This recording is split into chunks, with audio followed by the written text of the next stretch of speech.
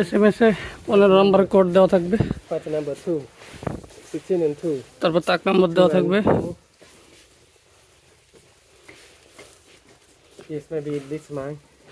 এখানে যার প্রোডাক্ট সে খুঁজে বাইর করে এস এম এস এ কোড দেওয়া থাকবে ওইভাবে সাজানো থাকে।